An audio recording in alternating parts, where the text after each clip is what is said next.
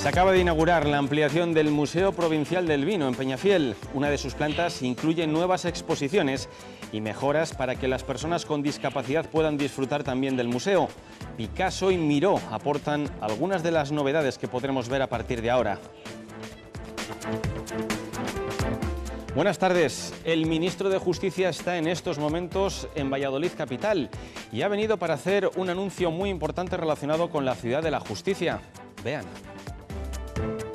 Vamos a, licitar las obras este año. Esto significa que si las licitamos hacia final de este semestre, podemos decir mayo, junio, la adjudicación sería para el tercer trimestre del año. Yo creo que muy a finales de año podríamos empezar ya a ver el replanteo y el inicio de obras.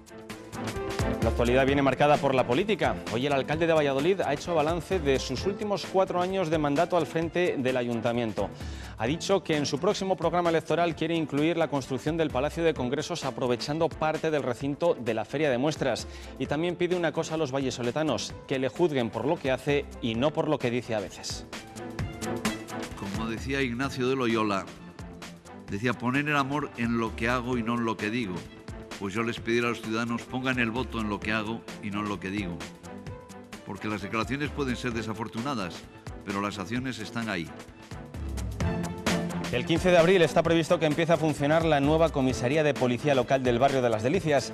El alcalde ha visitado hoy esas nuevas instalaciones. Serán en el antiguo colegio Luis Vives y eso supondrá que los agentes ya no estarán en la comisaría que ahora ocupan en el paseo de Juan Carlos I. 41 personas se trasladarán a la nueva comisaría que será más grande porque tendrá una superficie de 800 metros cuadrados.